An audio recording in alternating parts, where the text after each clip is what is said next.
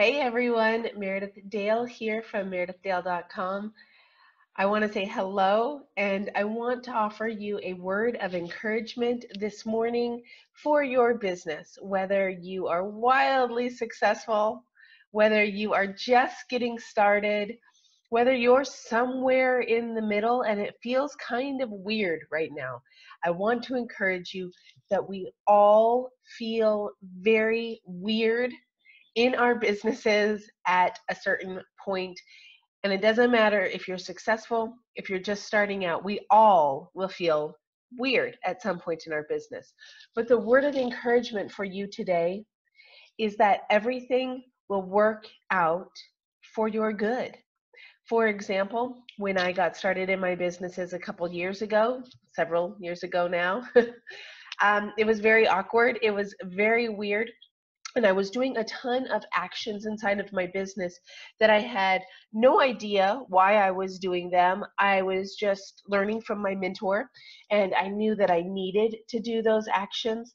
It was very stressful, it was very hard learning these new techniques, but I did them for the sake of my benefit that I look back now and I realize I did them blindly. I just did them because I was told I needed to do them. So, this is the word of encouragement for you today. If you're up against some new things that you need to do inside of your business, try them. Do them blindly. Do them as an act of faith that it will produce good for your business and it will produce good for your life further on down the line. So I always want to end these videos with a tip as well. So let's talk about something we get asked a lot about, and that is Facebook business pages and whether your business needs one.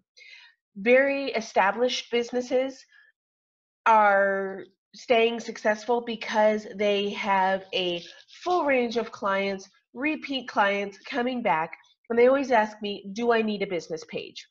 The answer is yes. Startup businesses are trying to focus on email marketing, getting the website up and going, just getting marketing, just getting some clients. They always ask me, do I need a business page? The answer is yes. Now, you might not need a business page on every single social channel. Some of my clients that I work with, they do a lot better on just having a LinkedIn page. So they're more academia. LinkedIn works really well for that. Some other uh, clients and businesses that I work with are very um, image oriented. They're creative businesses. They do really well on Pinterest and Instagram. So we set up business pages for those accounts on those social channels other businesses I work with, they're really give and take type of businesses. Lots of conversation, lots of likes and feedbacks. They're very active. They need, you got it, a Facebook business page. So while you do need a business page for your business, no matter if you're very established or if you're just getting started, you need one. And you need to be on social. You need to be where your customers are looking.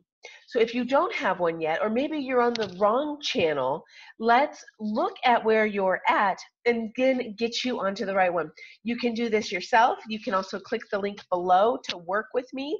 Um, but we can figure this out and get you on that right social channel. It's better to be on the right social channel, just one, and posting and interacting with your clients than feeling overwhelmed and not doing anything. So it's one of those steps of faith today where you have to step out, act on it, and get yourself a business page on social media for the specific channel that works for your business and for your clients. I hope you have a wonderful day. I will see you guys again soon. Have a wonderful day. Bye bye.